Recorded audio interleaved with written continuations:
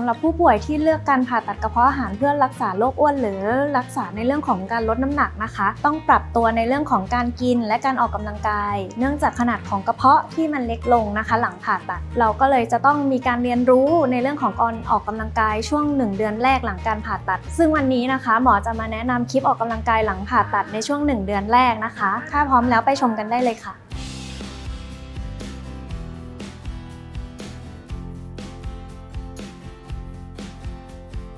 ค่ะสำหรับการออกกำลังกายหลังการผ่าตัดในช่วง 1 เดือนแรกนะคะ ผู้ป่วยก็จะมีแผลที่บริเวณหน้าท้องหลายตำแหน่งนะคะ ก็เลยเป็นเหตุที่ทำให้การออกกำลังกายในช่วง 1 เดือนแรกเนี่ย ถึงแม้จะสามารถทำได้ตั้งแต่วันแรกหลังผ่าตัดนะคะ แต่เราก็ต้องลดในเรื่องของแรงสั่นสะเทือน แรงกระแทก แล้วก็การออกกำลังกายที่ใช้แรงต้านนะคะ การออกกำลังกายที่เหมาะสมเนี่ยสามารถเริ่มได้จากเดินช้าๆ หรือจะเดินเร็วก็ได้ แล้วก็อาจจะปั่นจักรยานอยู่กับที่ก็ได้นะคะ หรือว่าลักษณะของการออกกำลังกาย โดยไม่ใช้แรงต้านที่หมอพูดถึงเนี่ยก็หมายถึงว่าเป็นการยกแขนชูแขนขึ้นลงช้าๆ หรือยกขาย่ำขาอยู่กับที่ ใช้เวลาในการออกกำลังกายเนี่ยประมาณ 30-80นาที ซึ่งสามารถปรับได้แต่ละบุคคลได้เลยนะคะ คนที่ไม่เคยออกกำลังกายเลย อาจจะเริ่มจาก 30 นาทีก่อนก็ได้ หรือถ้าคนที่ออกกำลังกายเป็นประจำอยู่แล้ว อาจจะเริ่มจาก 45 นาที 50 นาที แต่ไม่ควรเกิน 80 นาทีต่อวันนะคะ ข้อควรระวังสำหรับผู้ป่วยในการออกกำลังกายในช่วง 1 เดือนแรกนะคะ ก็จะให้ระวังในเรื่องของการออกแรงยกของหนักๆหรือออกแรงเบ่ง กระทั่งว่าออกแรงยืดในบริเวณที่ผ่าตัดเพื่อไม่ให้เกิดแผลปริหรือเกิดรอยแยกนะคะาอิริยาบถเหล่านี้เนี่ยก็แนะนำว่าให้งดหรือเลี่ยงไปก่อนค่ะสำหรับท่าออกกำลังกายในช่วง 1 เดือนหลังผ่าตัดกระเพาะอาหารนะคะ เริ่มจากท่าที่ 1 นั่งเตะเข่าเหยียดออกไปทางด้านหน้าทำข้างละ 10 ครั้งทำสลับกันทั้งสองข้างทำทั้งหมด 2-3 เซต เซตละ 10 ครั้งค่ะ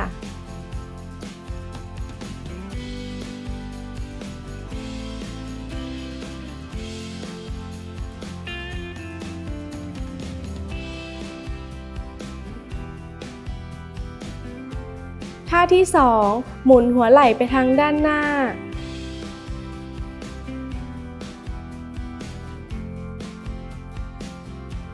จากนั้นหมุนไปทางด้านหลัง ทำทั้งหมด 2-3 เซต เซตละ 10 ครั้งค่ะ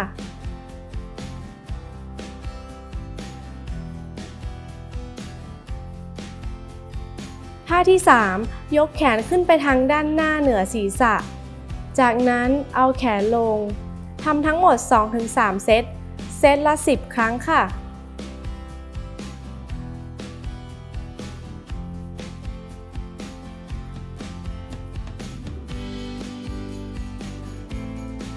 ท่าที่ 4 กางแขนตั้งฉาก 90 องศากับพื้น จากนั้นชกแขนขึ้นไปทางด้านบนเหนือศีรษะ ทำสลับซ้ายและขวาไปมา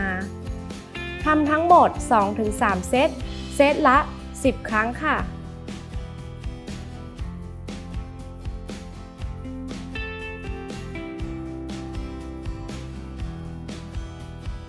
ท่าที่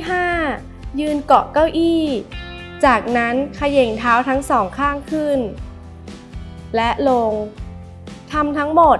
2-3 เซต เซตละ 10 ครั้งค่ะ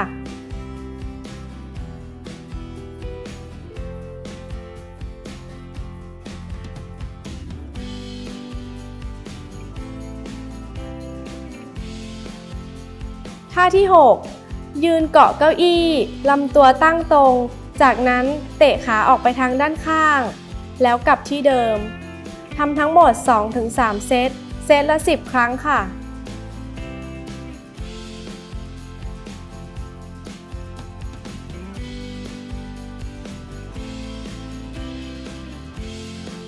ท่าที่ 7 ยืนเกาะเก้าอี้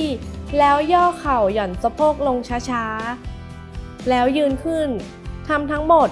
2-3 เซต เซตละ 10 ครั้งค่ะ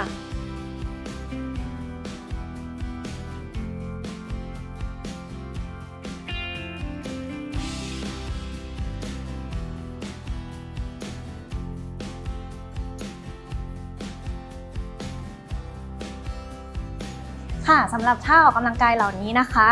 ควรจะทำเป็นเวลาต่อเนื่อง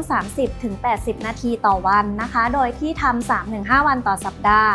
แล้วถ้าขณะที่ออกกำลังกายหรือหลังออกกำลังกาย มีอาการปวดท้องท้องผูกคลื่นไส้อาเจียน ท้องอืดท้องแน่น ถ้าพบอาการผิดปกติเหล่านี้นะคะ แล้วพอหยุดพักอาการยังไม่ดีขึ้น ไม่ทุเลาให้รีบมาโรงพยาบาล เพื่อให้แพทย์ตรวจวินิจฉัยรักษาทันทีนะคะ สวัสดีค่ะ